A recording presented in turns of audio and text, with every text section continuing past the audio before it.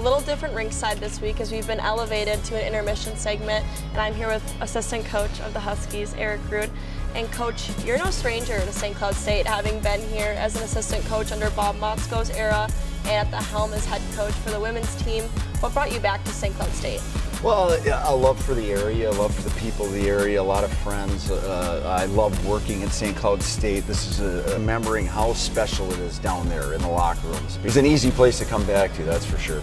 We'll talk about the team soon, I promise. But I first got to ask, your son, Max Rud, yep. playing for the Gophers. I mean, of like blasphemy around here.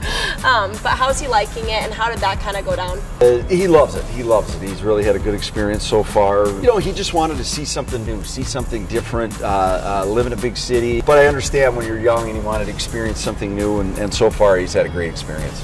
And Coach Larson has been here since 2018. What's it been like coaching alongside him? Uh, awesome. Uh, we've known each other for a long time. Played roller hockey together way back in the day, but but grew up playing against each other, whether it was high school, college, pro. We've always kind of known each other, and uh, uh, we get along. We're very compatible. I think the whole staff, everyone around here, has just been great. And the Huskies have a real balanced attack this season. I mean, we're seeing pretty evenly goals coming from the defensive and offensive lines. What are you noticing from this year's squad and their ability to score from nearly anywhere in the ozone. Oh, every week we we put a little more of our offense in, and and, uh, and you're right. Last weekend we got goals by defensemen, which we really haven't had so far, and that was an emphasis coming out of the Michigan weekend we want to have. So it was nice for those guys to chip in. I think we're we're just on the verge of breaking out offensively a little bit, uh, but we don't want to do it uh, at the expense of our defensive game because that's been what's what's really uh, got us off to a great start so far.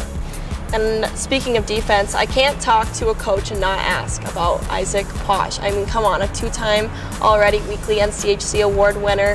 He's one of three goaltenders in all of NCAA hockey right now to have more than one shutout on this season. What does this early season success mean to the rest of the team from a coach's standpoint? Posh has been just excellent back there. It's been a, a, a real key to the start of our season uh, uh, for sure. But there's been so many uh, uh just positive things around here that have led us to this great start, and, and obviously goaltending is one of them. And the newcomers, Bernovic, Ralph, Thorson, Zinger, I mean, they've all made a super big impact pretty early on in the season.